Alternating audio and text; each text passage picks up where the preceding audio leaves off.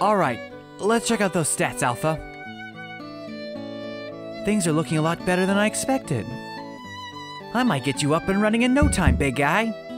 Just going to run another system test first.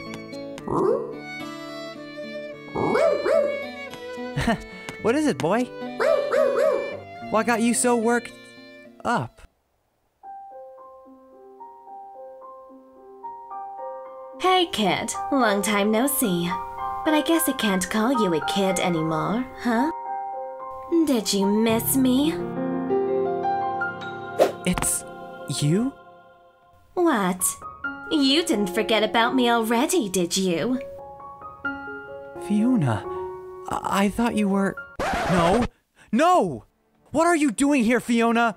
You're a traitor! Oh, haven't you gotten over that by now? That's not something you just get over. You're a criminal! You and your boyfriend are escaped convicts, remember? That's ancient history, and I haven't seen Scourge in years. What does it matter if you two split up? It doesn't excuse all the things you did. That was all in the past. Even before what happened, I tried to make up for the things I did. Don't you remember? You never made up for the things where it counted. You turned your back on the freedom fighters. You betrayed everyone you knew. And for what? Because you were too much of a coward to trust the people who actually cared about you the most.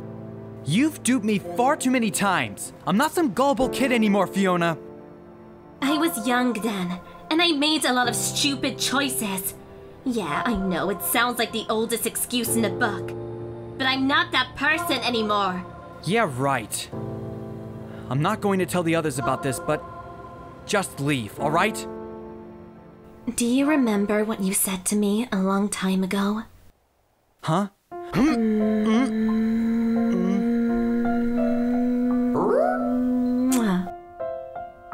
You said there was still some good in me, even when I didn't believe it myself. Ow! Hey!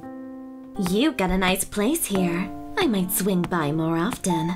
Wait, but what about. Even if it takes me a hundred years, I'll prove to you that I've changed for the better. Uh. Tails, why are you a sucker for these type of girls?